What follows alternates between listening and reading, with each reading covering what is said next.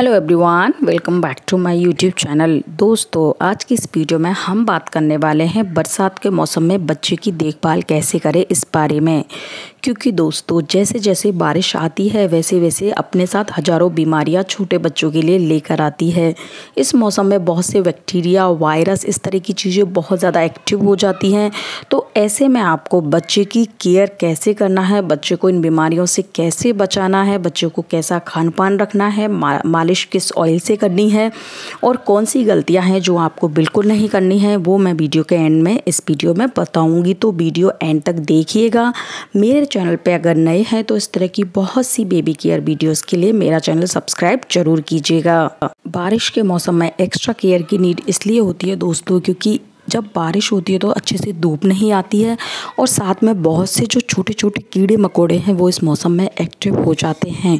तो ऐसे में आपको ये चीज़ें फॉलो करना बहुत ज़्यादा ज़रूरी हो जाता है कि क्या गलतियाँ हैं जो हमें इस मौसम में बिल्कुल भी नहीं करनी है।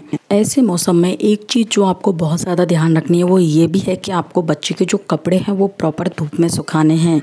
हो सकता है आपके वहाँ बारिश के मौसम में बहुत ज़्यादा धूप नहीं आती हो, लेकिन कोशिश करें कि दिन में एक बार तो कम से कम बच्चे के कपड़ों को धूप दें, छाया में बच्चे के कपड़ों को बिल्कुल नहीं सुखाएँ।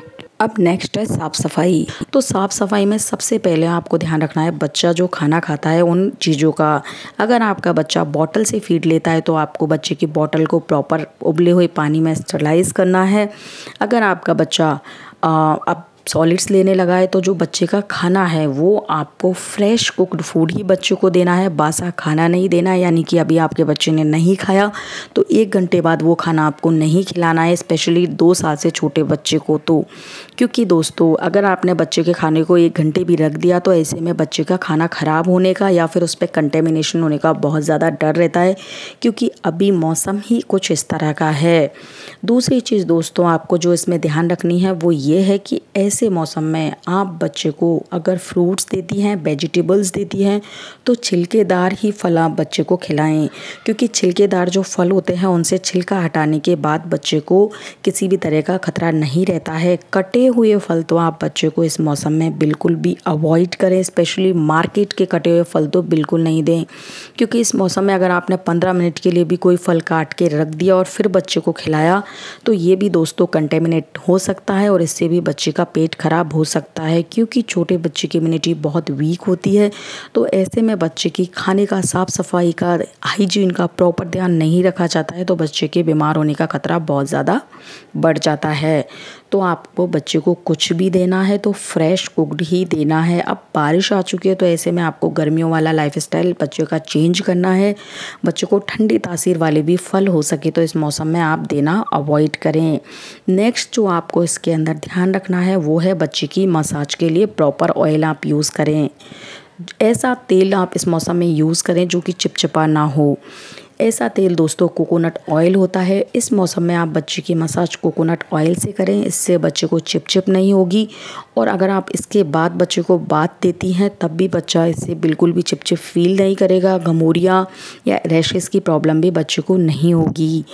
आप दोस्तों, हफ़्ते में एक बार सरसों का तेल यूज़ कर सकती हैं, जिसमें आप अजवाइन भुनी हुई और बुना हुआ लहसुन डाल सकती हैं। इससे इस मौसम में बच्चों को जो सर्दी, खांसी, जुकाम बार बार लग जाती है, उससे भी आपके बच्चे का बचाव हो सकता है। इसके अलावा दोस्तों, कुछ चीज़ें और आपको ध्यान रखनी है। वो है कि इस मौसम में बहुत ज़्यादा ह्यूमिडिटी रहती है कभी कभी गर्मी होती है तो कभी बारिश के बाद ठंडक हो जाती है। तो ऐसे में आपको सर्द गर्म से भी बच्चे की तबीयत ख़राब हो सकती है तो बच्चे को एकदम से कूलर या एसी में नहीं रखना है। कूलर एसी में तो दोस्तों दो साल से छोटे बच्चों को क्या पाँच साल से छोटे बच्चों को भी डायरेक्ट नहीं रखना चाहिए, लेकिन इस मौसम में आपको विशेष सावधानी रखनी है। अगर आपके बहुत ज़्यादा ह्यूमिडिटी हो रही है तो बच्चे को इनडायरेक्ट यानी कि डायरेक्ट आप एसी के सामने नहीं रखें। और बच्चे के जो एसी में अगर बच्चे को ले जा रही हैं, कूलर में रख रही हैं तो एक लेयर कपड़ों की ज़्यादा रखें। क्योंकि बच्चे को कभी तो ठंड लगेगी, कभी गर्मी लगेगी तो ऐसे में बच्चे की क्लोथिंग का भी आप प्रॉपर ध्यान रखें। नेक्स्ट आपको दोस्तों ध्यान रखना है फ्लोर की क्लीनिंग का जो टोटलर्स होते हैं, जो घुटनों के बल चलते हैं या फिर तीन साल से छोटे बच्चे भी फर्श से कुछ भी उठा के खा जाते हैं। तो ऐसे में आपको जो आपकी फ्लोर है, उसको भी एवरीडे पोछा लगाना है और दोस्तों उसमें भी नमक के पानी से लगाना है, ताकि जो नीचे भी किस तरह के जो कीड़े मकोड़े या जम्स रहते हैं फर्श पे और बच्चा को चोटा के खाता है तो उनसे भी बच्चे की रक्षा हो सके। साथ में दोस्तों बच्चे के टॉयज़ को भी आपको अब स्टरलाइज करना है और आपकी जो बेड शीट है, उसको भी आपको अच्छे से वॉश करके हर हफ़्ते चेंज करना है।